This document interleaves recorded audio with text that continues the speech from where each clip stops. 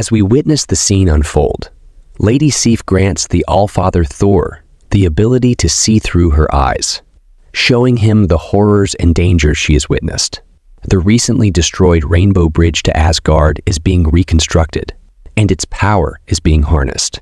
This reconstruction process is draining the life force from the tree of Yggdrasil, affecting the power of all the Ten Realms. Instinctively, Thor takes flight through space to the one place where he believes he stands the best chance against any threat, the realm of the Avengers. He searches for his friends, hoping to find their aid against the new threat named Mythos. However, to his dismay, he finds no response. Realizing he is alone in this battle, Thor faces Mythos, who reveals how he collected and mastered the broken pieces of the Bifrost, gaining the full power of the World Tree. He has now conquered Earth and erased the memory of heroes, claiming that he deserves this power unlike Thor, who was handed his abilities. Thor vehemently disagrees, stating that Mythos deserves only destruction. Despite all his anger and power, Thor finds himself outmatched and is forced to retreat under the guidance of his father's voice in his head.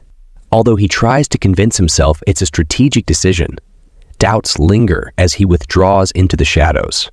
In the midst of his retreat, Thor encounters an old friend, Peter Parker, who is being attacked by a mugger. In a simple act of bravery, Peter Parker stands up for an elderly and defenseless couple when a criminal threatens them.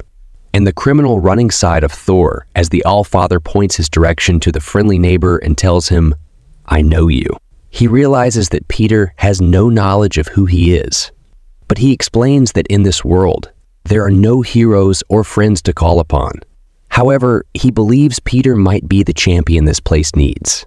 Despite Peter's protests, Thor assures him that he's the right person for the task. Peter shows Thor his modest living arrangements and explains the challenging and strange nature of their world. People like him work regular jobs, follow the rules quietly, and hope to one day ascend to work in the palace. Thor wants to make sure Peter understands that his life has been filled with hardship and suffering, and the only way to escape it is to avoid trouble. Despite this, Peter refuses to stand by while others suffer and believes in making an effort to help, even if it means taking a punch to the face.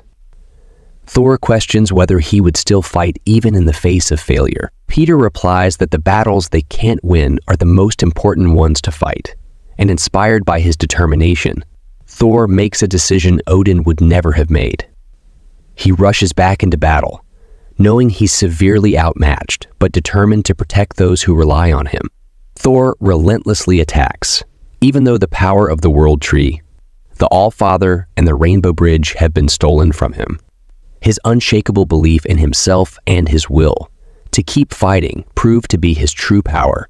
With one powerful swing of his hammer, he brings down Mythos' perfect world, restoring the Ten Realms to their rightful state, now transformed into just regular old MODOK. He pleads with Thor to bring down the Allfather's justice. But instead of following Odin's path of punishment, Thor chooses a different approach. He reaches into MODOK's mind, giving him something he lacked before the ability to question himself. As Thor sits on the throne of Asgard, he hopes to find the answers he's been seeking, realizing that his true strength lies within himself and his determination to protect others.